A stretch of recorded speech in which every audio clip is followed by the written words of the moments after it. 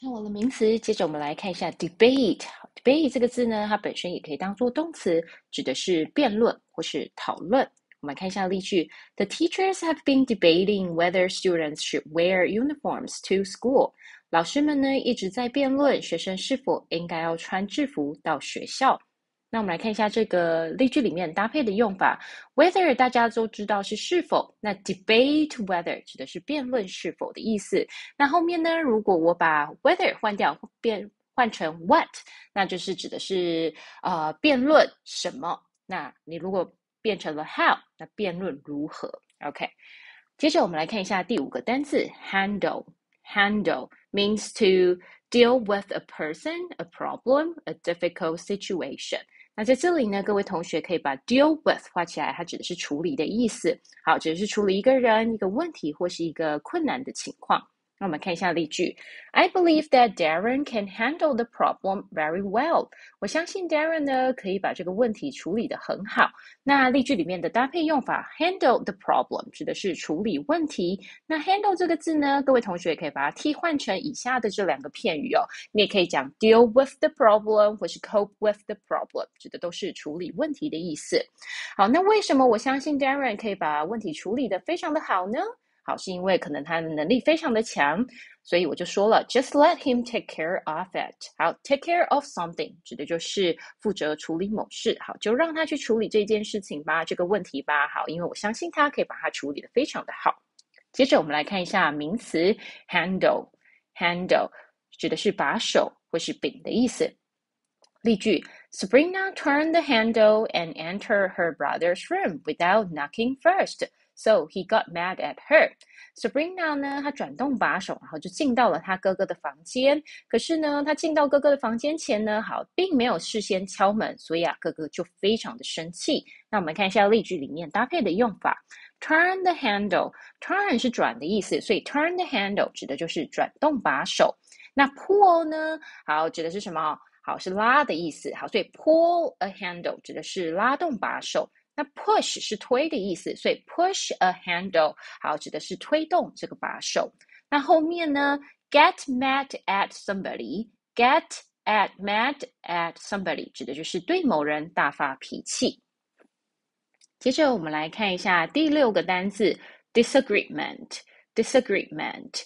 Disagreement means a state in which people express different ideas about something. 它指的是一种状态，然后在这个状态里面呢，人们呢，好针对某一件事情表达他们不同的意见。 那 disagreement，各位同学，我们来看一下这个字哦。你可以看到它是 m e n t 结尾。好，m e n t 结，我们在前面有讲过，事实上它就是一个名词的结尾。那 this 呢？好，这个字首啊，事实上的意思是有否定的意思，因此 disagreement 指的就是意见不合。那我们来看一下 m e n t 呢，在这里呢，它表示的是一项行动、结果或是手段的名词。好。那我们来看一下其他的例子哦，像 pay 大家都知道是付款，对不对？那 payment 好指的就是支付的意思。那 equip 呢？它本身如果是动词的话呢，指的是使配备有什么？那 equipment 指的就是设备。那 achieve 是达成，那达成的结果呢？好，就是你的什么成就？achievement。OK，好，那再来我们来看一下 disagreement 呢，指的是意见不合。那如果它的相反词，好，我只要把 dis 去掉呢，它就变成它的反义字 agreement。OK，我们来看一下例句：After two hours of discussion，在讨论了两个小时之后，the students still have disagreements about the topic of their science project。学生呢？ 在他们的科学的专题上面的主题呢，他们仍然呢意见不合。那 have disagreement about something，在这里呢，你介系词除了可以用 about 之外呢，我们也可以用 on，或是你可以用 over 或是 as to，都表示对于什么意见不合。接着我们来看一下这个字的动词 disagree，disagree。那 this 呢？我们刚刚有讲到它是否定的意思。好，所以如果去掉了 this，那 agree 呢？它就指的是同意的意思，因此是它的反义词哦。Jackie was always rude to people who disagreed with her。好，Jackie 呢总是呢非常的没有礼貌。好，be rude to somebody 指的是对某人无礼。那 Jackie 呢会对哪些人没有礼貌呢？who disagree with her，跟他意见不合的人，好，他就会很没有礼貌。disagree with somebody，好，指的是跟某人意见不合。So she made a lot of enemies，因此呢，她就树立了非常多的敌人。Make enemies，好，指的就是树敌的意思。接着我们来看一下第七个单字，sensitive。sensitive，I V 结尾呢，通常它就是一个形容词的结尾。What does sensitive mean? Uh, it means needing to be treated carefully in order not to upset or offend people。通常指的是一种情况，或是呃某一个问题、一个主题哦，需要被仔细的被处理哦。好，是为了不要冒犯别人，因此它的中文的意思指的是敏感的，需要审慎处理的。例句：Politics is a sensitive issue。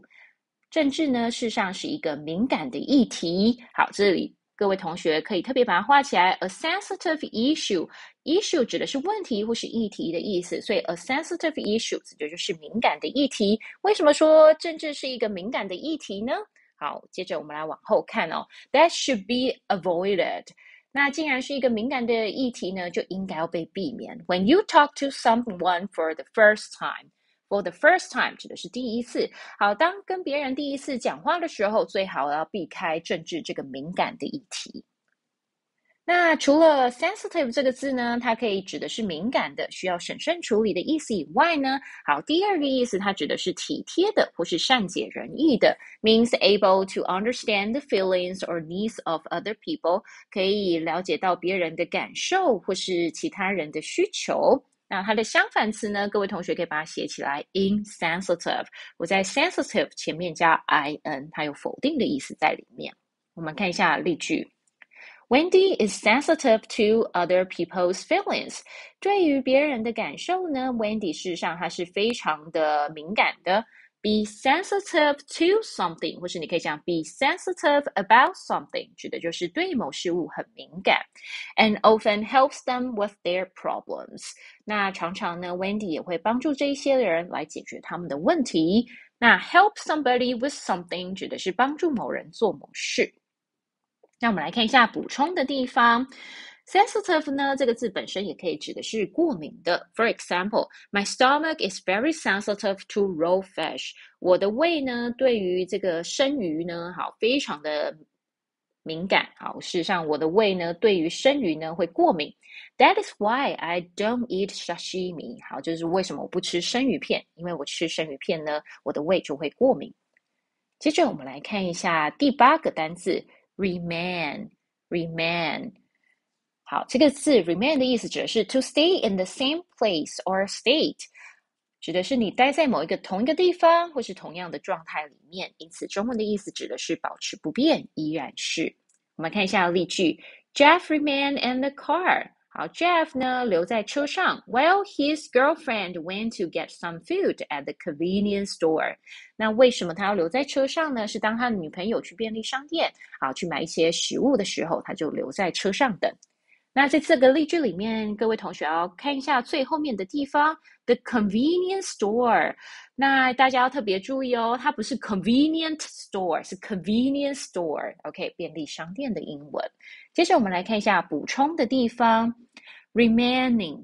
Remaining 它是一个形容词，指的是剩下的。我们一起来看一下，It's late now，现在已经很晚了。So Jessie decides to finish the remaining task tomorrow。所以啊，Jessie 呢，他就决定呢，要把剩下的这些任务呢，明天再来完成。